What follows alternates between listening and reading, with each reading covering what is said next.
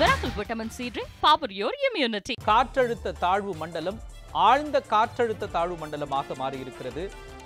நிவர் புயல் நிவர் புயலால் இருபத்து நான்கு மற்றும் இருபத்து ஐந்தாம் தேதி கனமழை பெய்யக்கூடும் என்று ஏற்கனவே வானிலை ஆய்வு மையம் எச்சரிக்கை விடுத்திருந்தது. இந்த நிலையில் காற்றழுத்த தாழ்வு மண்டலம் ஆழ்ந்த காற்றழுத்த தாழ்வு மண்டலமாக மாறியிருப்பதாக செய்தி கிடைத்திருக்கிறது.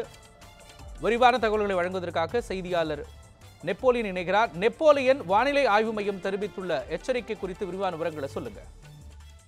மோகன் தெற்கு வங்கக்கடலில் குறைந்த காற்றழுத்த தாழ்வு பகுதியாக உருவாகி தற்போது படிப்படியாக வலுப்பெற்று காற்றழுத்த தாழ்வு மண்டலமாக இன்று மாலை வரை இருந்தது. தற்போது ஆழ்ந்த காற்றழுத்த தாழ்வு மண்டலமாக மேலும் வலுப்பெற்றிருக்கிறது. நாளை நிவர் புயலாகவும் இருபத்தி ஐந்தாம் தேதி அதாவது நாளை மறுநாள் தீவிர புயல் நிவர் புயலாக மாறி புதுவை அருகே கரையை கடக்கும் என்ற ஒரு அறிவிப்பை வானிலை ஆய்வு மையம் தொடர்ந்து தெரிவித்து வருகிறார்கள். இதன் காரணமாக டெல்டா மாவட்டங்களிலிருந்து தமிழகத்தின் கடலோர மாவட்டங்களிலிருந்து உள் தமிழக மாவட்டங்கள் வரை பரவலாக கனமழை முதல் மிக கனமழையும் குறிப்பாக தஞ்சை நெல்லை திருவாரூர் அஹ், போன்ற மாவட்டங்களில் அதாவது தஞ்சை திருவாரூர் அஹ், போன்ற டெல்டா மாவட்டங்களில் பரவலாக அதீத கனமழைக்கான எச்சரிக்கையும் கொடுக்கப்பட்டிருக்கிறது. தமிழகத்தின் பல்வேறு மாவட்டங்கள் நாளை காலை முதல் ப- பரவலாக மழைப்பொழிவை பெற இருக்கின்றன. தற்போது நமக்கு அண்மை செய்தியாக கிடைத்திருக்கிறது.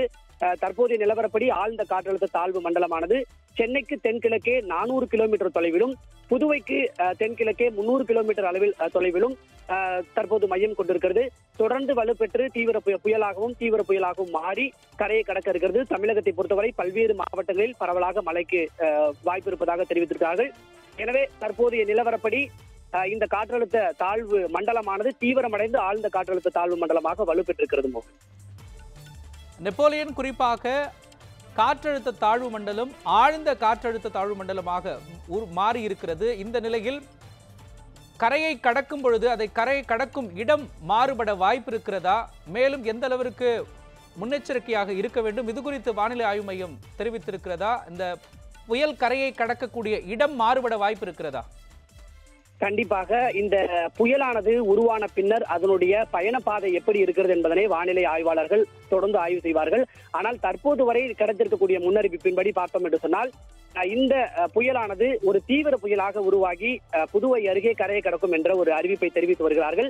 இன்று காலை முதலே தெரிவித்த முன்னறிவிப்பின்படி பார்த்தோம் என்றால் காரைக்காலுக்கும் மாமல்லபுரத்திற்கும் அதாவது மகாபலிபுரத்திற்கும் இடையே புது புதுவையை ஒட்டி கரையை கடக்கும் என்று தெரிவித்து வருகிறார்கள். இதுவரை அந்த பயணப்பாதையில் அஹ், மாற்றம் அஹ், செய்யப்படவே இல்லை.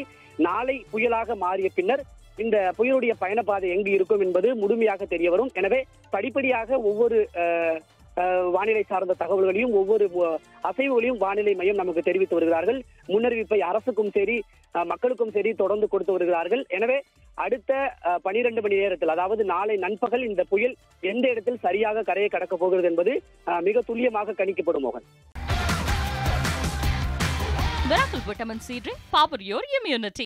நியூஸ் செவன் தமிழ் தொலைக்காட்சியை TAC TV SCB TCCL VK digital Aadhaar Jack TV Akshaya digital ஆகிய cable கனெக்ஷன்களிலும் Airtel Tata Sky Sun Direct ஆகிய டிடிஎச்கள் உட்பட அனைத்து முன்னணி கேபிள் கனெக்ஷன்களிலும் காணலாம்